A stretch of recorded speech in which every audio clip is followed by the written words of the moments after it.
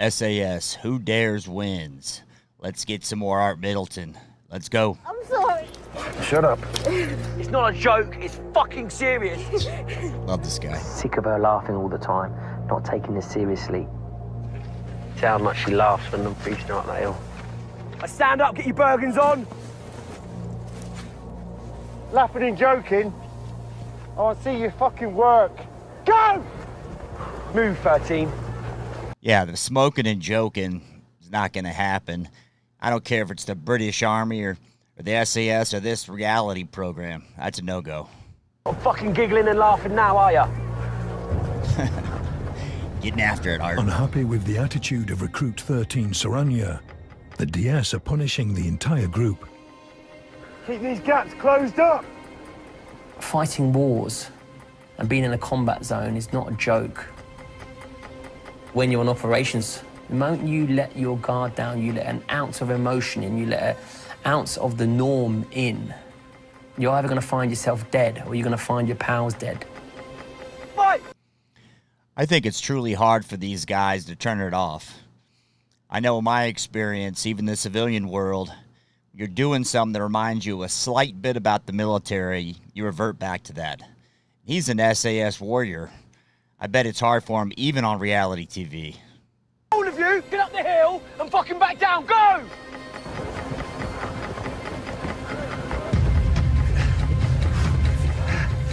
In sub-zero temperatures and at an altitude of over 3,000 meters, the recruits will be beasted Around me, do not touch me, otherwise you will go again. until one of them voluntarily withdraws from the course. Number 12.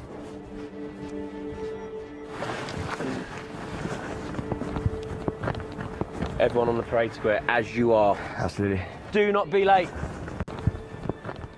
Ah, we got told to be on the parade ground With what? with everything, Bergens and everything. 12, what did I tell you? What did I say? To get everyone in the ground with their Bergens on and kit.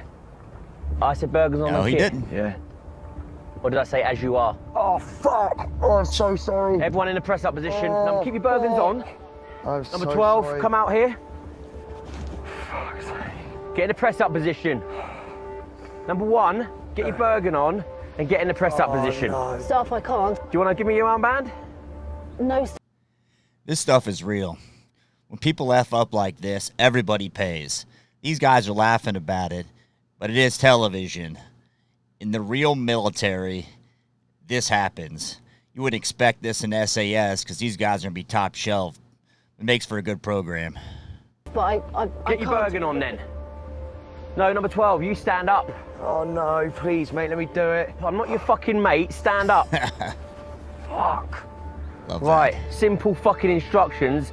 As you are, was that very fucking simple and clear? It was, ah. sir. It was, wasn't it? Yeah. Well, when number 12 says bend, you bend your arms. When he says stretch, ah. you stretch them. Right, over to you. Bend. Stretch.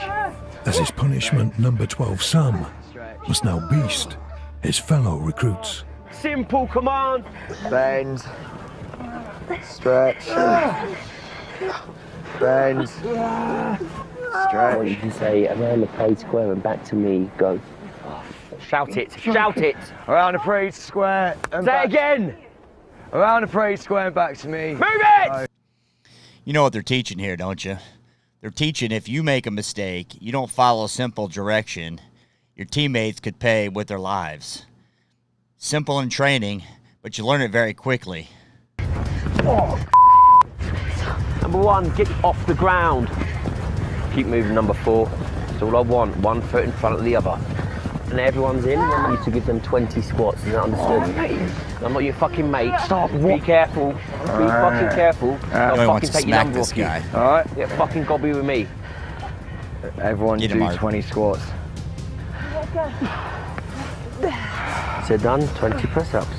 Down there's Or you can give me your number. It's up to you. I'm, I'm close. I probably will, actually, mate. Well, Get on, Get on with it. give it here. Shut up, you lot. Didn't ask you to talk. 20 press ups. Shout it. 20 press ups. Number 12, listen to me. I want you to go back to the accommodation, put your Bergens down, and come out as you are. Is that understood? Pass the sir. message on. We need to go back to accommodation, take your Bergens off, and come back. Move. We are. Go! Move, number 12! And a lot of guys will mess this up. They tell you exactly what they want. Now they're gonna jack with you, but when you mess it up, the pain will continue and continue. Oh, Fuck, I want to hit him. I'm so sorry. One She's straight gone. line in front of me. It's time to fucking ramp it up.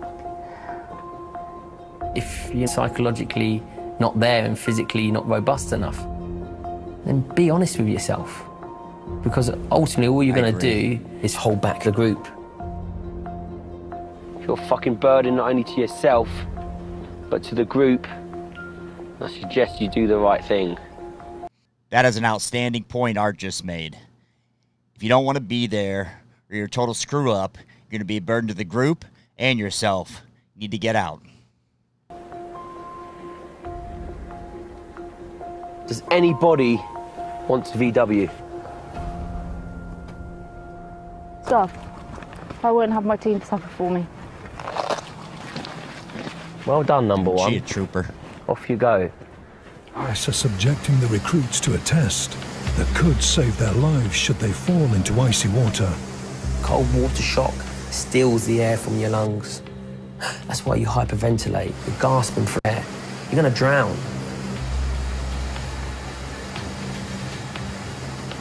Get in there, turn around. Chest high. I tell you to fully submerge, you fully submerge yourself. You come up head only above water. I will give you a series of questions. You answer those questions, and I will get you out. Let's do it. No, I haven't seen this, but they will screw it up. He gave about six instructions, very specific, and people just don't listen. Like earlier, he said, Come as you are. They come out with their packs. He said exactly what to do. Let's see. At these temperatures, hypothermia can set in in less than three minutes. I didn't say fully submerge yourself, did I? Get back Yep. there! Fully submerge yourself! What's your number? What's your number? Your mind needs to tell your body to calm down, stop flailing, because the more that you're flailing around and your body's taking over, the worse the situation you're putting yourself in. Fully submerge yourself! Everyone in life's maybe had it said to them, you can't do this or you can't do that. And the more you sort of say that to me, the more I'll just sort of grit my teeth and go, don't tell me no.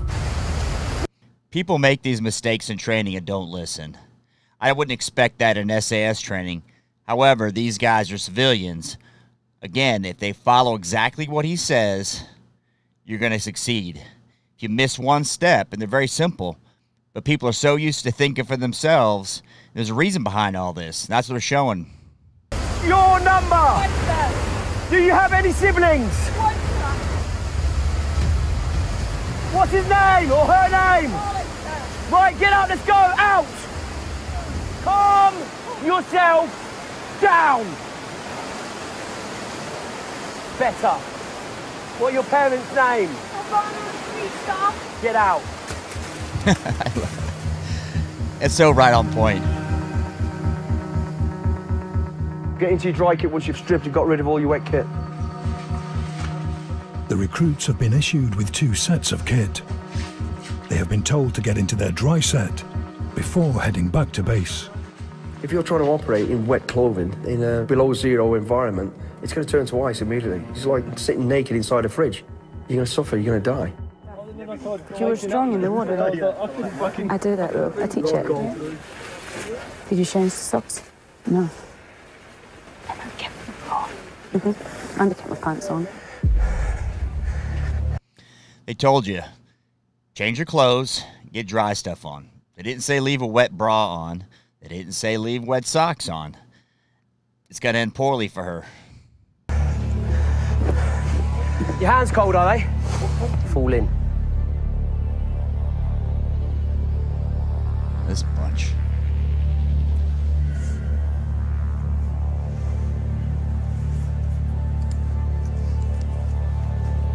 You step out. You step out. You step out. You step out. You step out. You step out.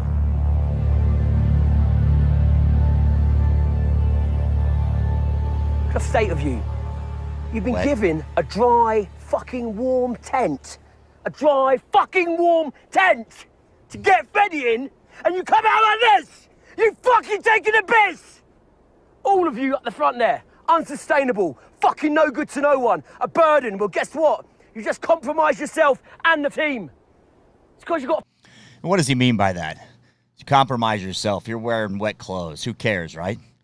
Well, you're relying on these other idiots. In real life, you're relying on your partners, your teammates. And that's what he's trying to show here in this reality show. And there's something to take away. I don't think people see it. They see the yelling and the cursing. They're trying to get it through in their thick skulls. Come on! Guess what? Take the fucker off! Rinse it out! Put it in your bag! 20, move. Move. Fuck, kiss my shit, man. What's wrong with you, number 18? I've lost my band. Fucking go and find it. Hurry up! Move! Now, if you lose a piece of equipment, you've become a liability to your team. But not only that, you're giving the game away. Where's that piece of equipment going to lead the enemy? Number 18, fucking hurry up Right. now! And the repercussion is it's going to cost lives. Shit. I know people see this and they think it's just television, but what he's saying is true and happens. You can't lose stuff common sense, but you get so spun around in these trainings, and worse in real life, it happens. They're trying to teach these guys why it's important. You lose a weapon, you lose a GPS, lose nods. It's an issue. Yeah, stuff. What we found. Now answer this question very, very carefully, number 18. Do you want that number back?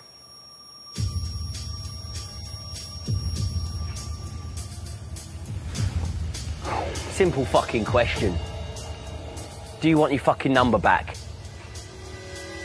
Yeah, stuff. You do want it back. Yeah, stuff. Right, the rest of you, go and grab a barrel and get back on the parade square. Number 18, come and grab your number. Put it on, stand in the middle of the parade square. Hurry up, circle around number 18. So if you can imagine this with trained British soldiers, or Royal Marines trying out for SAS. They're already squared away. They already have military bearing. So you don't see these guys nodding their head and acting disrespectful. And the level, the expectation is so much higher. These guys are coming there at least with some military bearing. Put your barrels in front of you. There's no easy way of building up a special forces operator. There's no shortcuts to it. Little thank you from number 18. Get the barrels above your fucking heads and keep them there.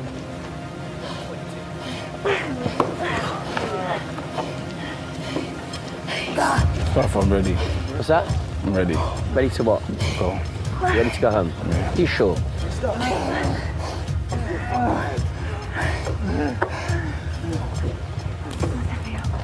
Yes, no?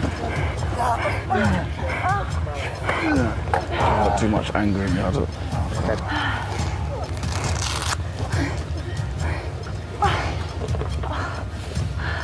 Make a decision. Control that anger. We've done it before. We do it again, right? You'll see this in movies where the instructors make the team pay for one guy's mess up. What's the point there? Point is, the team needs the members, all of them participating, not half assing it, not losing gear. And everybody's going to pay for the one mistake. And very quickly, you learn, or your teammates weed you out in training.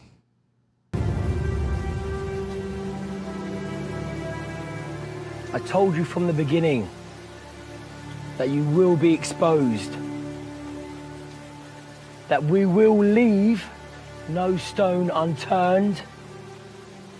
And that we have eyes and ears everywhere.